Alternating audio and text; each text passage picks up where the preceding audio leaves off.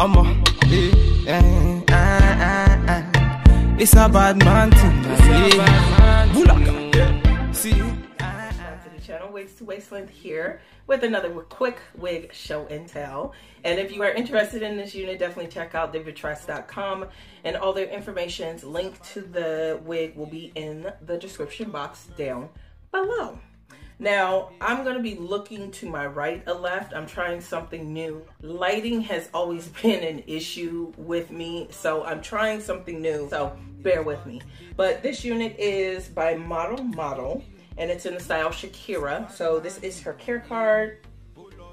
And the color on the model is the same color that I got.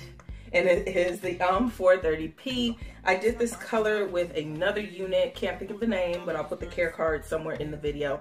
But this is Miss Shakira out of the pack. I did go ahead and cut the lace on here. And this is a light yaki unit and she is full as we can tell. Now, this is a soft Swiss lace unit, and what I love, what got me excited, this does have that soft Swiss 4x4 parting.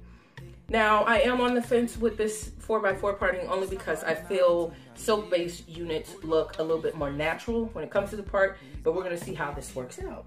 Um, on the inside of the unit, you do get, ooh, you get three combs by that parting space. So you get two here, and then you get one down here, and then you get one in the back with adjustable straps. And what else can I say about Miss Shakira? But if you're interested in seeing how I style her, then go ahead and keep watching. I see what you did there, Model Model.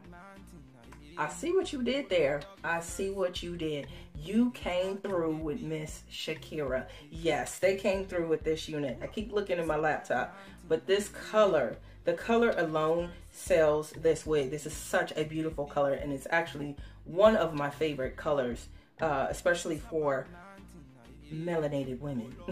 so as far as this unit is concerned, I am just, like I said, I can't, girl, I want to be in the mirror, in the in the camera, just selfies all day. Clickety, clickety, clickety, clickety. but as far as the cap construction on this unit, this is a big head friendly unit. So it is a very comfortable, stretchy cap. No need for like loosening or adjusting the straps.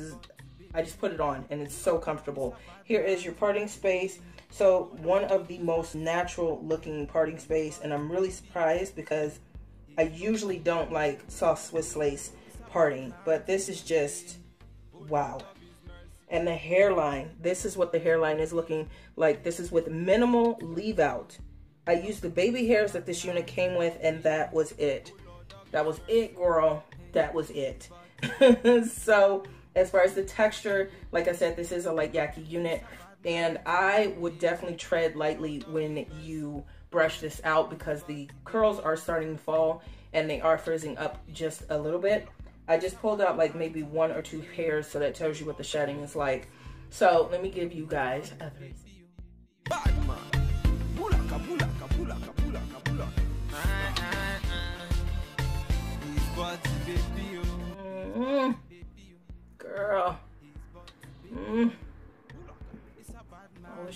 chocolate.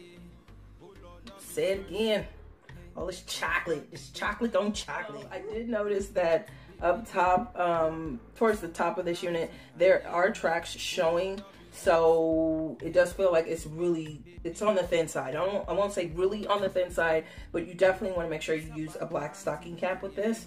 And I do feel that it's a little bit thin at the bottom, especially with this part here.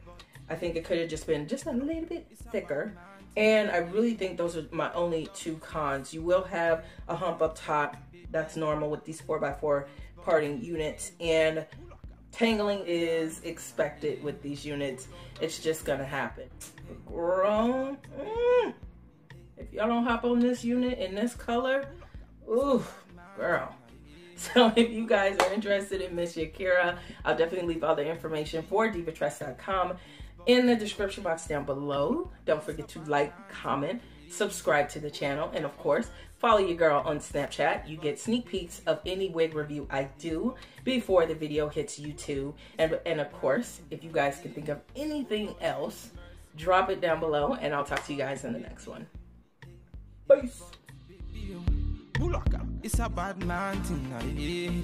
Oh Lord of His mercy, hey, His body, baby, oh.